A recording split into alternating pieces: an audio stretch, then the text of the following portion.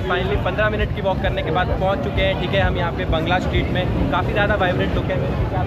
तो काफ़ी ज़्यादा अच्छा है। अभी इसके अंदर आपको पूरी नाइट लाइफ और ज़्यादा डिटेल में दिखाने वाला हूँ कि फुकेट में अगर आप बंगला स्ट्रीट में आते हैं तो आपकी नाइट लाइफ कैसे रहने वाली है। वैसे जो बीच साइड एरिया था, वो भी काफ़ी ज़्यादा अच्छा था, क्योंकि वहाँ पे आपको काफ़ी सारे अच्छे अच्छे रेस्टोरेंट्स मिले, ठीक है? सी फ़ूड मिला। अभी स्ट्रीट के अंदर चल के देखते हैं कि हमको क्या कुछ है जो देखने को मिलने वाला है। तो चलो मेरे साथ चलो।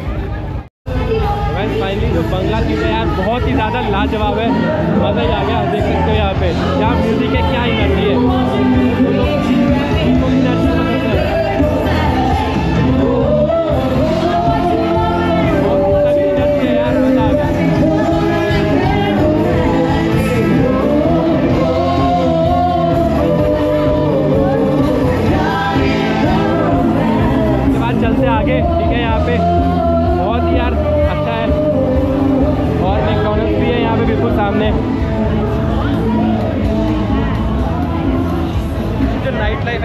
अब लागे रहा है। पीछे तो बहुत ज़्यादा शांत था बीच वाली साइड बट यहाँ पे जो म्यूज़िक और एनर्जी है, वो नेक्स्ट लेवल है। तो काफ़ी ज़्यादा मज़ा आ रहा है। आपको हर जगह पार्टी प्लेसेस दिखेंगी जहाँ पे लाइव म्यूज़िक चल रहे हैं, लोग खा रहे हैं, नाच रहे हैं, ठीक है? बाहर ही डेमोन्स्ट्रेशन चल रही है। अभी आपको बहुत ही तगड़े वाला दिखाता हूँ, ठीक है? तो इसमें आपको मज़ा आ जाएगा, आपका जाने का मन ज़रूर करेगा। तो यहाँ देखो अभी बहुत ज़्यादा है। सबसे बेस्ट है जो कहा जाता है कि इल्यूजन वाला सबसे बेस्ट है। तो हम ट्राई करेंगे कि इल्यूजन वाले पब में अंदर जाए। ये वाला अभी नाम तो वैसे ऊपर देखो, आपको दिखा देता हूँ, मुझे पढ़ना तो नहीं आ रहा बट ये भी काफ़ी ज़्यादा अच्छा है। सामने ब्लैक हॉर्स है, ठीक है? यहाँ पे भी अंग्रेज़ है जो काफ़ी ज़्यादा मदद कर रहे हैं। यहाँ तो अगर आप सोलो आते हो तो भी कोई दिक्कत नहीं है। बस आपको पैसे खर्चने पड़ेंगे। अगर आपको सोलो पैसे नहीं खर्चने तो दोस्त वगैरह लेके आओ।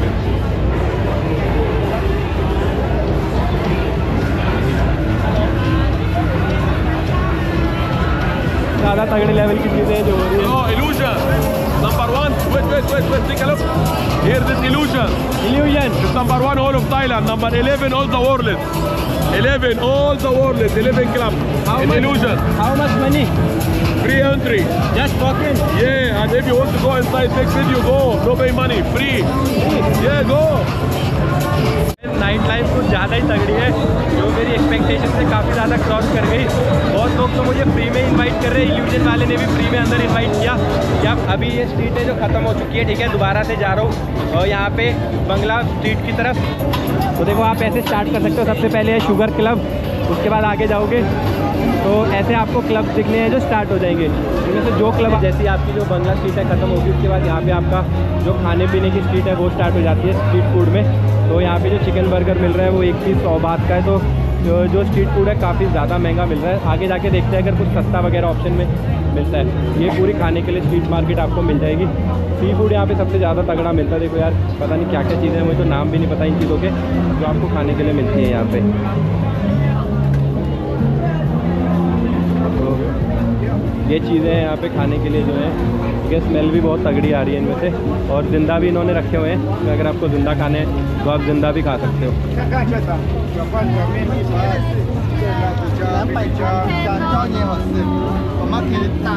भी दादा एनिमल्स है जो यहाँ पे रखे हुए हैं। देखो ये तो यार काफ़ी बड़ा लॉस्टर लग रहा है पता नहीं ज़िंदा है मतलब बर्फ़ में पता नहीं क्यों ढक के रखे हुए हैं, शायद फ्रेश रखने के लिए। पाया थाई नाम की एक डिश है जो ऑर्डर की थी, ठीक है, खाई। तो जो चिकन वाला पार्ट था वो तो सही था, लेकिन ये सब्ज़ी वाला पार्ट है जो थोड़ा सा अजीब है। तो अजीब अजीब सा टेस्ट आ रहा है। तो टेस्ट डेवलप होने में थोड़ा टाइम लगेगा बट ठीक है, आप खा सकते हो। तो आपको भी रिकमेंड करूँगा, सौ बात की ये डिश आप खा सकते हो। इंडियन अगर आप खाना वगैरह खाओगे तो एक मील के आपके लगभग तीन सौ से चार सौ जाएँगे बट ये सौ बात में आपको अच्छा खासा खाने को मिल जाएगा। आपकी एक टाइम की अच्छी डिश है। तो थोड़ा दोबारा से खाता हूँ तो रिएक्शन देखना। तो थोड़ा अजीब सा टेस्ट है बट खाने लायक है। और ये जो ये इनकी मूंगफलियाँ वगैरह, ये बिल्कुल मत डालना। इससे बिल्कुल ही अजीब टेस्ट हो जाता है। ये वाला पार्ट मत डालना, बस इसको ऐसे ऐसे खाना। तो सौ बात में जो पाई ठाई वाला खाना खा लिया। अब उसके बाद दोबारा से बंगला स्ट्रीट में आ गए हैं। अब स्टार्ट करते हैं क्लब हॉपिंग अब अंदर जाके देखते हैं कि क्या क्या मिलने वाला है। ट्रूली फ्री रहता है। जैसे वो बहुत जगह पे कह रहे हैं कि फ्री एंट्री है बट देखते हैं ट्रूली क्या वो फ्री रहता है या नहीं रहता। उसके अलावा देख सकते हैं ऐसे कई शोज़ हैं जो यहाँ पे चलते रहते हैं। ठीक है, पहले आपको बॉक्सिंग वाला दिखाया था। अभी एक अजीब सा शो चल रहा है, सांप वाला कोई। वैसे शो इन्जॉय कर सकते हैं।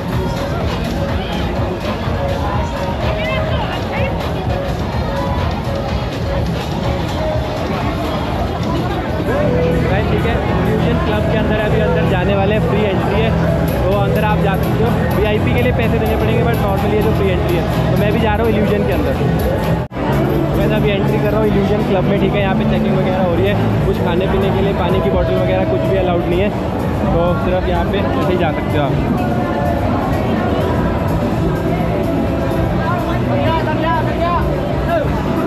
तो देखो, ऐसी कुछ एंट्रेंस है जो यूजन क्लब की रहने वाली है। बहुत ही गजब एंट्रेंस है। तो मस्त क्लब है एंट्रेंस ही बहुत तगड़ी है फ्री में एंट्रेंस भी होती है वीडियो बनाने वगैरह के लिए। वो भी अंदर जाके डांस वगैरह करते हैं मस्त वाई करते हैं, देखते हैं खाने पीने के लिए जो भी होगा, वो भी अंदर आपको खा लेंगे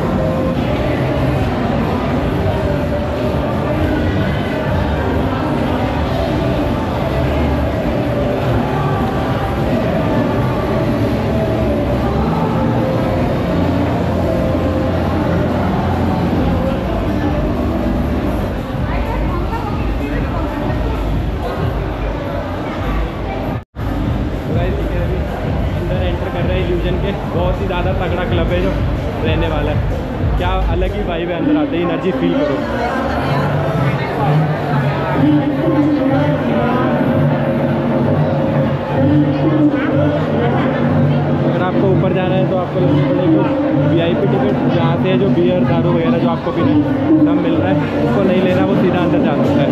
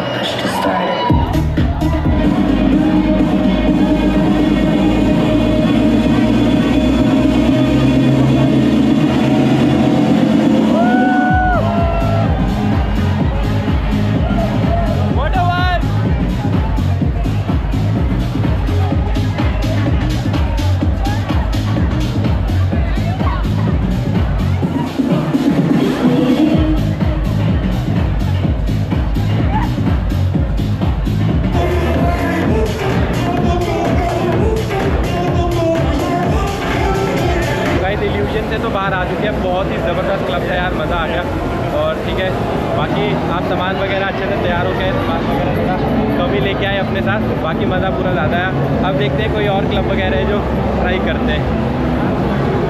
फाइनली ठीक है टाइम हो रहा है रात के डेढ़ बजे और नाइट लाइफ पूरी एंजॉय कर ली, आपको भी दिखा दी। और फाइनली वापस जा रहा हूँ अपनी हॉस्टल की तरफ़। तो जो थाईलैंड है ना यार एज ए कंट्री बहुत ज़्यादा सेफ़ है। रात को डेढ़ बजे भी बहुत फ्रीली है जो मैं सड़कों पर चल रहा हूँ, कोई भी प्रॉब्लम या इशू मुझे नहीं आ रही। अभी पैदल वॉक करके अकेला देखो, जा रहा हूँ अपने हॉस्टल वापस। लगभग डेढ़ किलोमीटर की दूरी पे 15 से 20 मिनट का टाइम लगेगा। आई होप आपको मेरी ये वीडियो पसंद आई हो वीडियो को लाइक कर देना चैनल को सब्सक्राइब कर देना। मिलते हैं ऐसे किसी वीडियो में, तब तक के लिए बाय बाय और अगर आप भी देखना चाहते हैं मेरे थाईलैंड की पूरी सीरीज़ तो पूरी देखें। आज है जो मैं आया था दिल्ली से फुकेट फिर फुकेट में आके मैंने यहाँ पे आपको लोकल शहर दिखाया पूरा और पेंटोंग बीच दिखाया। उसके बाद आपको यहाँ की नाइट लाइफ दिखाई। और आज का मेरा पहला डे है, जो ख़त्म हो चुका है। कल के डे में मैं जाने वाला हूँ, ठीक है, कहाँ से? पेंटोंग बीच से कोसुमाई आइलैंड वहाँ पर जाके आपको कोसुमाई दिखाने वाला हूँ। तो अगर आप भी पूरी सीरीज़ देखना चाहते हो तो पूरी सीरीज़ को ज़रूर फॉलो करें। तो मिलते हैं ऐसे अगली किसी वीडियो में, तब तक के लिए bye bye so guys I hope आपको ये वीडियो है जो पसंद आई होगी। तो अगर आप भी प्लान कर रहे हैं अपना इंडिया से थाईलैंड ट्रिप का तो मेरी ये थाईलैंड सीरीज़ पूरी ज़्यादा डिटेल में जाके देखिए, ठीक है? मेरा यूट्यूब चैनल है ट्रैवल विद बंटी जिसमें जाके आप प्लेलिस्ट में जाएँगे थाईलैंड 2024 की सीरीज़ पूरी डिटेल में देख सकते हैं। जिसमें मैंने एक पूरी सीरीज़ बनाई है कि कैसे मेरा पहला सोलो इंटरनेशनल ट्रिप रहा और कैसे आप दिल्ली से लेके थाईलैंड तक जा सकते हो, ठीक है? वहाँ पे पंद्रह दिन की ट्रिप है जो मैंने की है, जिसकी मैंने पूरी सीरीज़ बताई है, जिसमें मैंने आपको बताया कि कैसे आप दिल्ली से इमिग्रेशन करके थाईलैंड पहुँच सकते हो, फिर वहाँ से कैसे आपको ट्रैवल करना है बजट में कहाँ पे आपको होटल्स लेने हैं, कहाँ पे आपको खाना खाना है, क्या आपको कैसे करना है कौन कौन सी एक्टिविटीज़ करनी है, कैसे आपको बजट में मिलेगी, सारी चीज़ें मैंने बहुत ज़्यादा डिटेल में कवर की अपनी सीरीज़ में तो वीडियोस को बिना स्किप करें एंड तक देखना पूरी सीरीज़ को, जिसमें आपको एक एक इन्फॉर्मेशन सारी डिटेल में मिल जाएगी। बट फिर भी अगर आपको कोई डाउट वगैरह है, ठीक है, अगर आप प्लान कर रहे हैं अपनी इंडिया से थाईलैंड ट्रिप की, लेकिन फिर भी आपको कोई डाउट है जो मेरी वीडियो से क्लियर नहीं हुए और आप चाहते हैं कि मैं आपके वो डाउट क्लियर करूँ तो आप मेरी पेड कंसल्टेशन सर्विस ठीक है, जो यूज़ कर सकते हैं, जिसमें मैं आपको सारे आपके डाउट्स क्लियर करेंगे। हम एक मीटिंग सेटअप करेंगे, जिसमें आपके सारे डाउट्स है, जो इंडिया से थाईलैंड ट्रिप की हम कवर करेंगे, जैसे कि कैसे आपको फ़्लाइट बुक करनी है, कहाँ से आपको बेटर डील्स मिल जाएँगी, सस्ती से सस्ती फ्लाइट्स आप कहाँ से बुक कर सकते हो तो उसके बाद फिर कैसे आपको एयरपोर्ट पे जाना है एयरपोर्ट पे आपका क्या प्रोसेस रहने वाला है, कैसे आपको अपना इमिग्रेशन क्लियर करना है, उसके बाद आपको क्या क्या डॉक्यूमेंट्स चाहिए जो आपको वहाँ दिखाने चाहिए, और कौन कौन सी एप्स आपको अपने फ़ोन में इंस्टॉल करके जानी है, उसके बाद एयरपोर्ट पे पहुँचने के बाद थाईलैंड में आपको कैसे अपना इमिग्रेशन क्लियर करना है, वहाँ पे आप कैसे एयरपोर्ट से मेन सिटी में जाओगे, कौन से एरिया में आपको होटल्स बुक करने होटल्स कहाँ से बुक करोगे बेटर डील्स मिल जाए और उसके बाद वहाँ पे कौन कौन सी एक्टिविटीज़ आपको करनी है कौन से टूर एंड ट्रेवल्स करने हैं तो सारी डिटेल में आपको ठीक है आज जो दूँगा अगर आप मेरी कंसल्टेशन सर्विस लेते हो, जिसका चार्ज रहने वाला है थ्री हंड्रेड रुपीज़ जिसमें आप एक पूरी मीटिंग कर सकते हो, ठीक है, आधे से एक घंटे की मीटिंग रहेगी। आपकी ए टू जेड सारे जो डाउट्स है, मैं क्लियर कर दूँगा इंडिया से थाईलैंड ट्रिप के। तो अगर आप भी प्लान कर रहे हो और आपकी जो मेरी सीरीज़ के कोई डाउट है जो बच गए तो आप मुझे इंस्टाग्राम पे मैसेज कर सकते हो। इंस्टाग्राम का जो मेरा हैंडल है, वो है ट्रैवल विद बंटी ठीक है यूट्यूब पे भी सेम है इंस्टाग्राम पे भी सेम है। इंस्टाग्राम पे मैसेज करके मुझे आप अपनी जो अपॉइंटमेंट है, वो ले सकते हो। और उसके बाद आपके सारे डाउट्स है जो मैं क्लियर कर दूँगा। जिसकी फ़ीस रहने वाली सिर्फ़ थ्री हंड्रेड रुपीज़ जिसमें आपके सारे डाउट्स क्लियर हो जाएँगे। और ये थ्री हंड्रेड रुपीज़ की एक सर्विस मतलब कंसल्टेंसी बुक करके आप अपने लगभग पाँच से दस हज़ार रुपए अपनी ट्रिप पे है, जो बहुत इजीली बचा सकते हैं। और आपके सारे डाउट्स है एडवांस में क्लियर हो जाएँगे। वहाँ पे जाके आपको कोई भी प्रॉब्लम है जो नहीं आएगी। बाकी मेरी सीरीज़ को इसी प्रकार से देखते रहे। वीडियोस अगर आपको पसंद आ रही हो तो यार नीचे अच्छे अच्छे कमेंट्स करना, बिल्कुल मत भूलना। और जो लोग आपके दोस्त या आप प्लान कर रहे हैं तो अपने दोस्तों के साथ भी इस वीडियोस को ज़रूर शेयर करो इंडिया टू थाईलैंड की। ये मेरी पहली इंटरनेशनल ट्रिप थी जो कि मैंने काफ़ी अच्छे और बजट में कंप्लीट कर लिया है। आई होप आपको ये वीडियो पसंद आई होगी। वीडियो पसंद आई हो तो वीडियो को लाइक कर लेना चैनल को सब्सक्राइब कर देना। मिलते हैं अगली वीडियो में, तब तक के लिए बाय बाय